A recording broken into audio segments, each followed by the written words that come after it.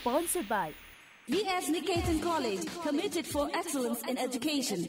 Lakshmi Steel, Nepalमा guaranteed number one quality.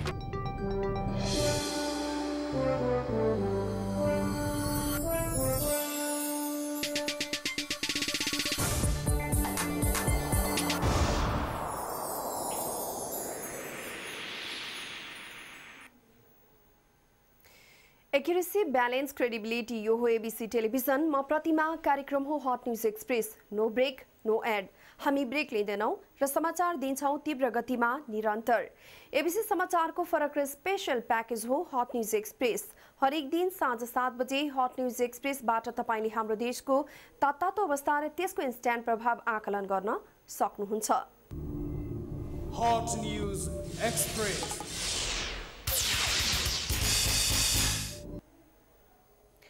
सुरु गरौँ हट न्युजबाट सत्तारूढ दल कङ्ग्रेस एमालेको आइतबार बसेको बैठकले संघीयता बाहेकका विषयलाई प्रक्रियामा प्रवेश गराएर मस्यौदा समितिमा पठाउने निर्णय गरेको छ।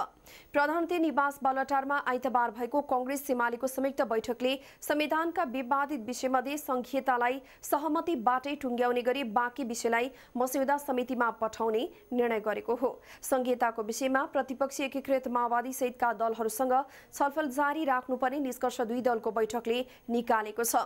कङ्ग्रेस उपसभापति रामचन्द्र पौडेलले संहिताबारे छलफल जारी राख्दै संविधान सभाको प्रक्रियालाई अघि बढाइने बताउनुभयो। बैठकले संविधान सभामा प्रक्रिया अघि बढाउन सभाध्यक्ष सुभाष निमाङलाई जिम्मा दिने र दलहरूका बीचमा सहमति भएका विषयलाई मस्यौदा समितिमा पठाउने निर्णय गरेको नेता पौडेलले जानकारी दिनुभयो। बैठकमा कङ्ग्रेसको तर्फबाट प्रधानमन्त्री सुशील कोइराला नेता शेरबहादुर देउवा उपसभापति रामचन्द्र पौडेल महामन्त्री कृष्ण प्रसाद सेटोला लगायतको सहभागिता थियो। यसै एमालेका तर्फबाट अध्यक्ष खड्ग प्रसाद शर्मा ओली वरिष्ठ नेता झलनाथ खनाल नेता माधव नेपाल उपाध्यक्ष वामदेव गौतम भीम रावल लगायत सहभागी थिए। संविधान सभाको आइतबारको बैठक पनि शोक प्रस्ताव पारित गर्दै स्थगित भएको छ। बैठकले पूर्व प्रधानमन्त्री तथा संविधान सभा सदस्य सूर्य बहादुर थापाको निधनप्रति शोक प्रस्ताव पारित गरेर स्थगित भएको हो। थापा दुई हजार एकाउन्न र दुई हजार छप्पन्न सालको प्रतिनिधि सभाका सदस्य हुनुहुन्थ्यो। यसै दुई हजार पन्ध्र सालमा सल्लाहकार सभाको अध्यक्ष र दुई हजार एक्काइस तेइस अडतिस चौवन्न र साठीमा गरी पाँच पटक प्रधानमन्त्री बन्नुभएको थियो। थापाको यही वैशाख दुई गते उपचारका क्रममा भारतको मेदान्त अस्पतालमा निधन भएको थियो। आज सहित लगातार तीनवटा बैठक पटक पटक शोक प्रस्ताव पारित गर्दै स्थगित भएका छन्।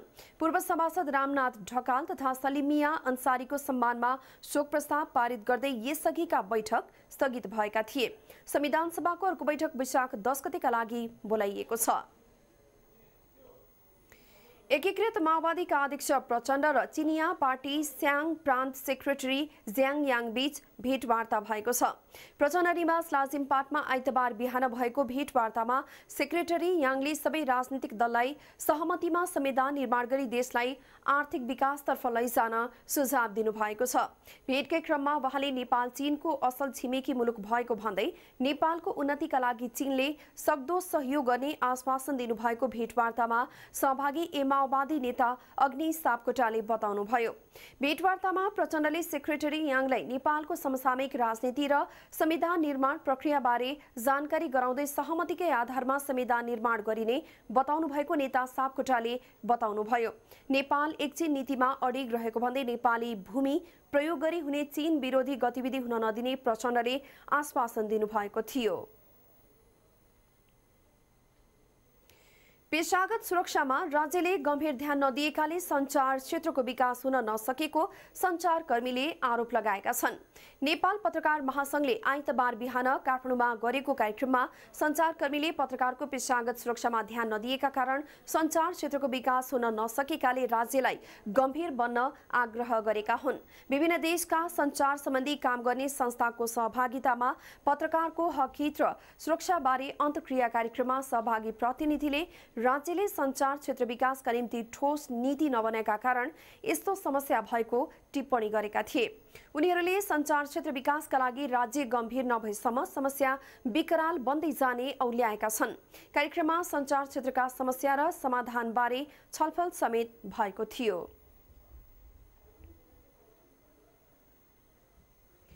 अब पालो हट रिपोर्टको।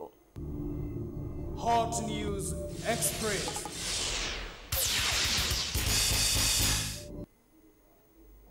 अहिले संविधान लेखनको प्रक्रिया ठप्प छ। कसरी अगाडि बढ्छ भन्ने विषयको पनि कुनै आकार देखिएको छैन।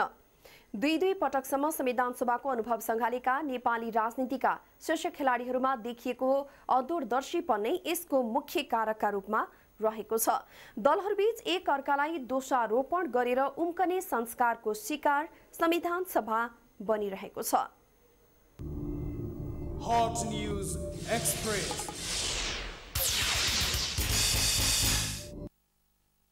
लामो समयदेखि नेपाली राजनीति अन्यलग्रस्त छ। दलहरू बीचमा प्राप्त संवाद नहुनु र विषयवस्तुमा केन्द्रित भएर छलफल नहुनु पछिल्लो समयको ठूलो समस्या हो। प्रमुख राजनीतिक दल नेपाली काङ्ग्रेस र नेकपा एमाले समस्या समाधानमा पहल कदमी नलिनु र एकीकृत माओवादी तथा मधेस केन्द्रित दलहरूले आन्दोलनको रटान लगाउनु अर्को समस्या बनेको छ। दलहरूबीच सहमति हुने आशाले सभाध्यक्ष सुभाष नेमाङले संविधान सभा बैठक पटक पटक स्थगित गर्दा पनि त्यो समयको सदुपयोग हुन सकेको छैन। पछिल्लो समय त प्रमुख दलहरू अनेकौँ बाहना देखाएर पन्छिरहेका छन्। सहमतिको लागि परिणाममुखी काम नगर्ने तर एकले अर्कालाई आरोप प्रत्यारोप गर्दै समय बिताइरहेका छन्। मुख्य विवादित विषय राज्यको पुनर्संरचनामा दलहरू आआफ्नै अडानमा छन्। तीमध्ये अहिले राजनीतिक बजारमा काङ्ग्रेसले प्रस्ताव गरेको छ प्रदेशको चर्चा व्यापक छ। काङ्ग्रेस नेताहरू यो प्रस्तावमा सहमतिको नजिक पुगेको प्रचार गरिरहेका छन्।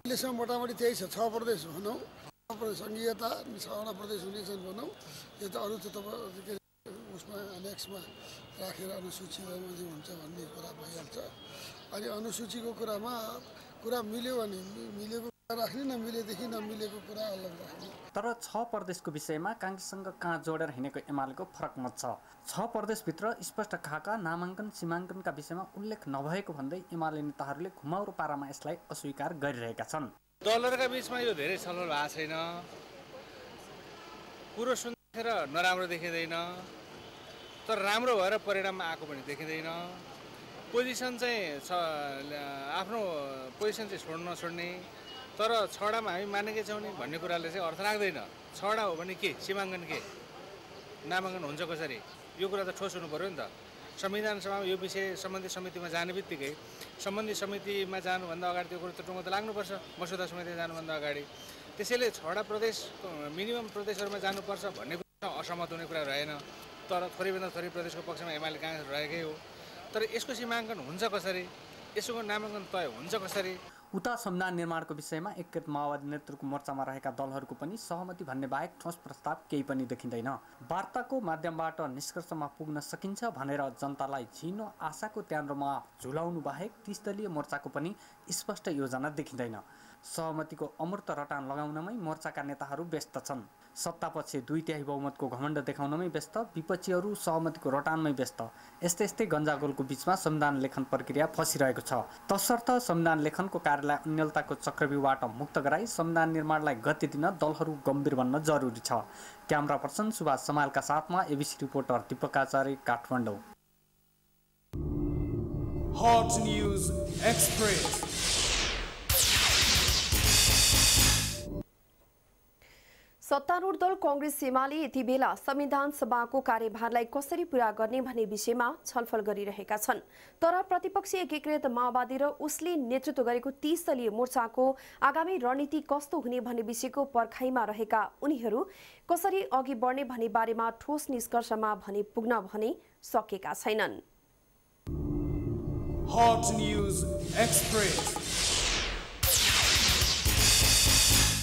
संविधान सभामा बहुमतीय प्रक्रियाका माध्यमबाट अघि बढ्ने रणनीतिमा रहेका काङ्ग्रेस एमाले यति बेला आफ्नै योजनामा अल्मलिएका छन्। प्रश्नावली समितिको प्रतिवेदन सदर गरे यता संविधान सभा चल्न सकेको छैन। प्रतिपक्षी दलहरूसँग सहमतिका लागि भन्दै वार्तामा सहभागी हुने तर दुवै पक्षले आफ्नै अडान नछोड्नाले संविधान सभाको हविगत हल नचल बनेको छ। यसैबीच आइतबार सत्तासीन दलका शीर्ष नेताहरूको बैठक बस्यो। बैठकको एजेन्डा संविधान सभा र संविधान निर्माण नै थियो। तर बैठकले फेरि पनि संविधान निर्माण कार्यलाई कसरी अगाडि बढाउने भन्ने विषयमा ठोस निर्णय गर्न सकेन। बैठकपछि सञ्चारकर्मीसँग कुरा गर्दै नेकपा एमालेका नेता माधव कुमार नेपालले सहमतिका लागि अनौपचारिक छलफल जारी रहेको भन्दै एकीकृत माओवादीको समेत गतिविधिलाई हेरेर अघि बढिने बताए। समय पनि पाइएको छ। समयको बिचमा अनौपचारिक कुराकानी पनि भएको छ।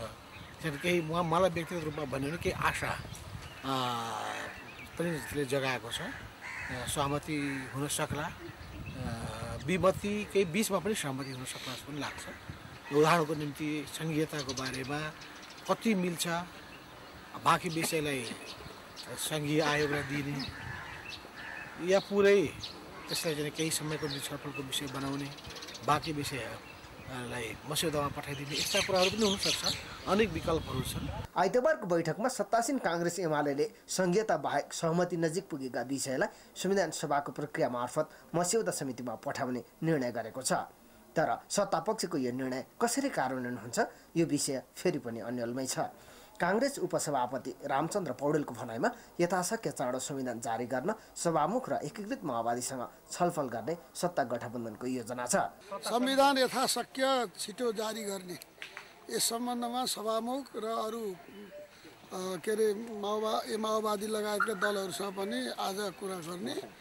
र अनि अब चाहिँ कसरी प्रक्रिया अगाडि बढाउने भनेर छलफल संविधानका अन्तर्वस्तुमा धेरै विषय सहमति नजिक रहेको दलका नेताहरूको भनाइ छ। उनीहरूकै शब्दमा भन्दा तराईका पाँच जिल्ला झापा मोरङ सुनसरी र कैलाली कञ्चनपुरलाई पहाड वा मधेसका प्रदेशमा राख्ने भन्ने विषयमा संहिताको हलो अड्किएको छ। तर यो अड्किएको हलो अड्काइरहन चाहन्छन् राजनीतिक दलहरू। उनीहरूको गतिविधिले यस्तै देखाउँछ। काङ्ग्रेसी नेताहरूको ताल हेर्दा उनीहरू प्रक्रियाको लौरो देखाएर प्रतिपक्षी मोर्चालाई तर्साउने तर अन्तत सहमतिमै संविधान बनोस् भन्ने पक्षमा देखिन्छन्। तर सत्ता साझेदार एमालेका नेताहरूको गतिविधि भने प्रतिपक्षी दल र मोर्चालाई पेलेरै भए पनि संविधान सभामा प्रक्रिया थाल्ने प्रयासमा जुटेको देखिन्छ। प्रतिपक्षी दल र मोर्चा अनि संविधान सभा बाहिर रहेका शक्तिहरूलाई समेत चित्त बुझाएर संविधान निर्माणको कार्यभार पुरा गर्ने जिम्मेवारी सत्तारूढ दलहरूको नै बढे हुन्छ। तर यति बेलाको राजनीतिक अभ्यासलाई हेर्दा काङ्ग्रेस र एमालेकै बिचमा संविधान निर्माणबारे एकरूपता कायम हुन सकेको छैन। जसले गर्दा आम उत्पीडित नेपाली जनताका पक्षमा संविधान निर्माण गर्न गठित संविधान सभा थलिएको छ। ABC reporter Kaman Dewan Kathmandu. Hot News Express.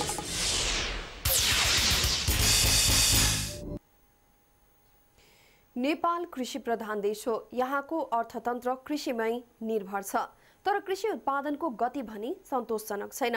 कृषिमा सरकारले वर्षेनी लगानी बढाए पनि त्यसको परिणाम भन्ने शून्य प्राय छ। कृषियोग्य जमिन धमाधम मासिँदै गइरहेको छ भने खाद्यान्न आपूर्तिको समस्या चर्किँदैछ। Hot News Express. सरकारी प्राथमिकतामा कृषि नै अग्रस्थानमा छ। सरकारले सोही अनुरूप यस क्षेत्रमा लगानी नबढाएको पनि होइन। तर कृषि क्षेत्रमा उपलब्धि भने निराशाजनक छ। कृषि क्षेत्रको विकासका लागि धेरै भाषणबाजी भइरहेका छन् तर यहाँ खाद्यान्नमा परनिर्भरता झनै बढेर गएको छ। युवाहरू विदेश पलायन हुनु कृषियोग्य जमिनमा बस्ती बस्नु र प्लटिङ गर्ने प्रवृत्तिले कृषियोग्य जमिनको विनाश भइरहेको छ।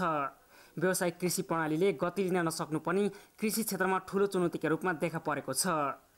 नेपालको प्रमुख कृषि बाली भनेको धान हो। धानको उत्पादनले मुलुकको आर्थिक वृद्धि दरलाई नै प्रभावित पार्ने गरेको छ।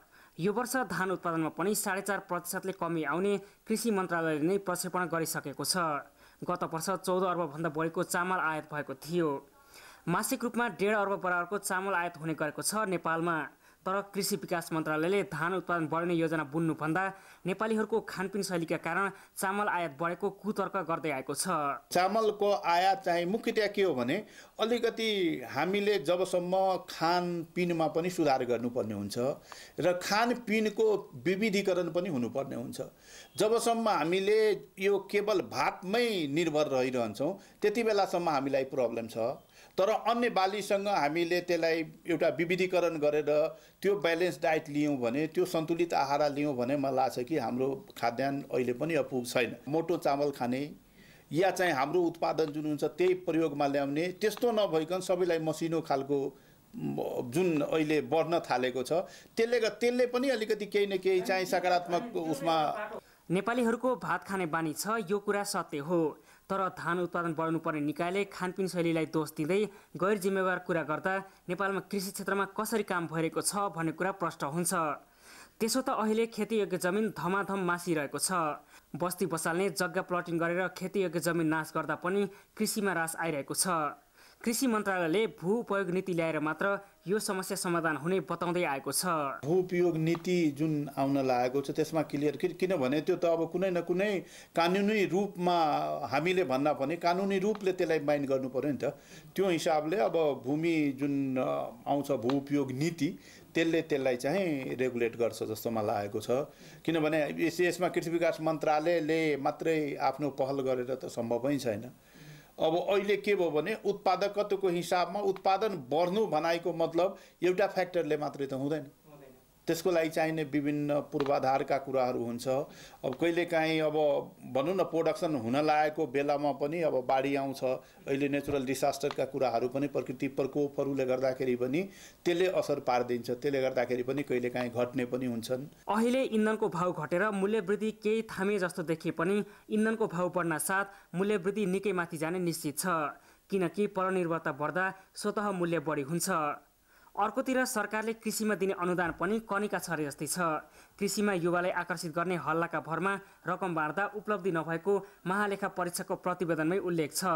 एकातिर अनुगमन नहुनु अर्कातिर पारदर्शिताको अभावले कृषिको लगानी बालुवामा पानी जस्तै बनिरहेको छ।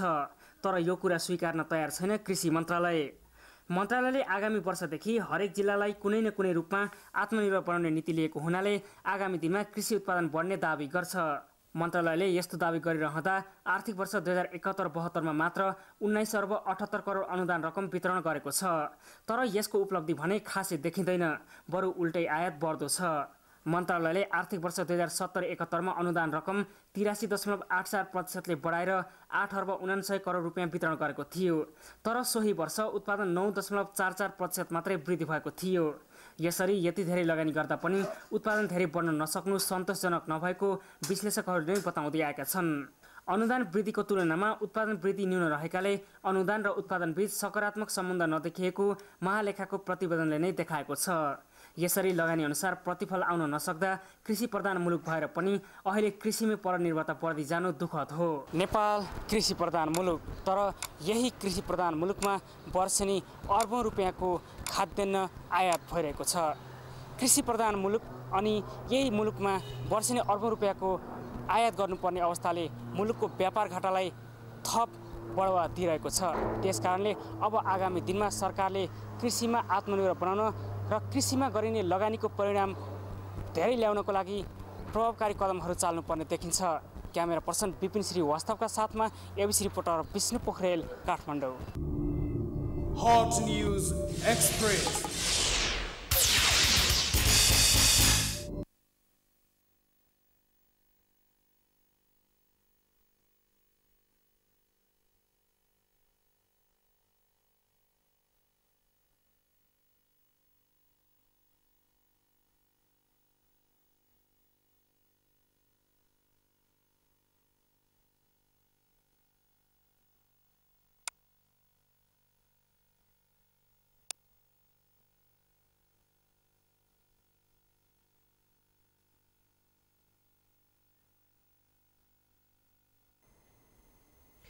भन्नु पो राजधानी। यहाँको भौतिक विकास र त्यसको अवस्था देख्दा राजधानी जस्तो लाग्दैन।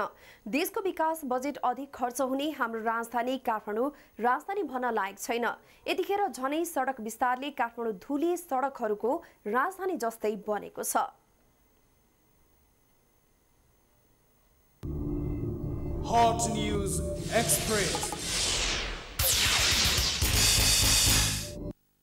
काठमाडौँ उपत्यकामा अभियानकै रूपमा सडक विस्तार सुरु गरिएको चार वर्ष बढी भइसकेको छ।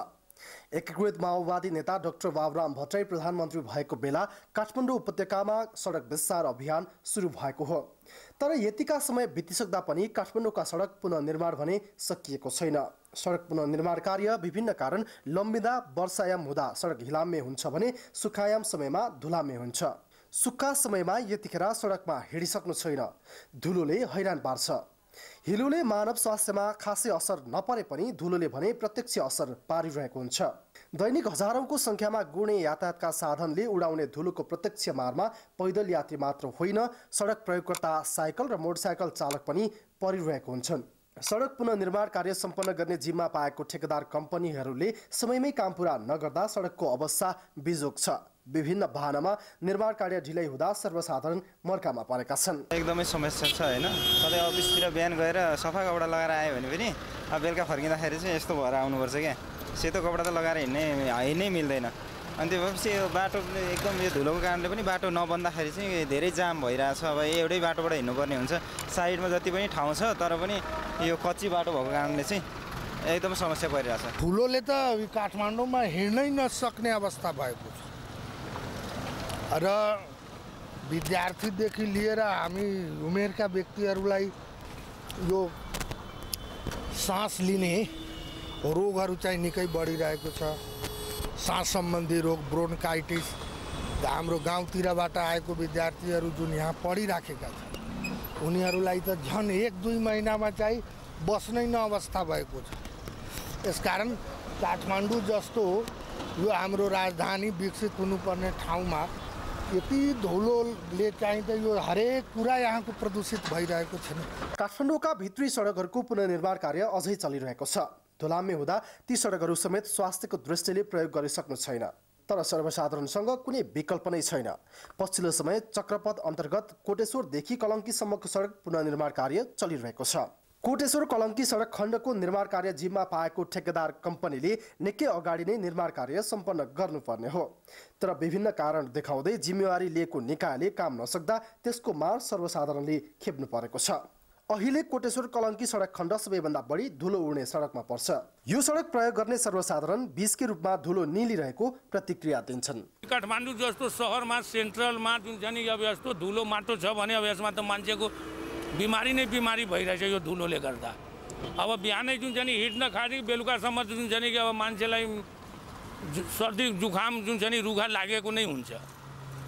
अब त्यस कारणले गर्दा यो हाम्रो विचारमा त यो जुन चाहिँ सरकारले जुन गरिरहेछ यो रोड खन्ने विषय काम त्यो जस्तो फुर्तीमा खनिरहेछ त्यस्तो फुर्तीमा त्यसलाई बनाउनु पनि पर्ने हो। नबनाएर मान्छे अहिले बिमारी धेरै जस्तो त्यो धुलोले कारण भइरहेछ बस। अब यो त प्रदूषण हो। जानी जानिकन पनि यो के भइरहेको छ भने बिख पनि पिउनु परिरहेको छ कि?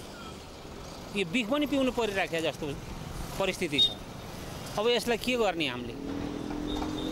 कहीँ गएर रिपोर्ट गरौँ कहीँ गएर त्यो रिपोर्ट गर्ने ठाउँ छैन। के गर्ने? सडक साँग्रो भएको महसुसपछि विस्तार गरिनु र पुनर्निर्माण गरिनुपर्छ। यसमा कसैको दुईमत हुन सक्दैन। तर पुनर्निर्माणको जिम्मा पाएको निकाय तथा ठेकेदार कम्पनीले काम समयमै सम्पन्न गर्नुपर्छ यसमा पनि कसैको दुईमत छैन। सरोकारवाला निकायले समयमै काम सम्पन्न गर्ने हो भने सर्वसाधारण जनताले कमै मात्र शास्ति खेप्नुपर्ने थियो। यातायातका साधनको धुवा र सडकको धुलोका कारण काठमाडौँमा बसोबास गर्ने आम मानिसमा श्वास प्रश्वासको समस्या बढ्दै गएको छ। त्यसैले राज्यले पुनर्निर्माण कार्यमा ढिलाइ गर्ने निर्माण कम्पनीहरूलाई समयमै काम सम्पन्न गर्न ताकता गर्नु आवश्यक छ। काठमाडौँमा सडक विस्तारको काम धमाधम भइरहेको छ। पुराना सडकहरू भत्काएर नयाँ सडक बनाउने कामहरू पनि धमाधम चलिरहेका छन्। यसरी नयाँ बनाइने सडकहरू तर ढिलै भइरहेको छ। निर्माण कार्य ढिलै हुँदाखेरि यहाँ धुलो उड्ने हिलो हुने अनेकौँ खालका समस्याहरू भइरहेको छ। विशेषतः यो सुखायाम सुखायाममा घाम लाग्ने घाम लाग्दाखेरि यातायातका साधनहरू गुड्दाखेरि धुलो उड्ने यो धुलोका कारण आम सर्वसाधारण जनताको स्वास्थ्यमा गम्भीर असर पुर्याइरहेको छ। त्यसैले गर्दाखेरि राजधानीका सडक निर्माण कार्यहरूलाई तोकिएकै समयमा सम्पन्न गर्नुपर्छ र सहजताका साथ यहाँ सर्वसाधारण जनताले आवाज जवाब गर्न पाउनुपर्छ र सर्वसाधारण जनताको स्वास्थ्यमा खेलबाड हुन हुँदैन। क्यामेरा पर्सन दिपेन्द्र ढुङ्गानाका साथमा ABC reporter Milan Limbu Kathmandu Hot News Express.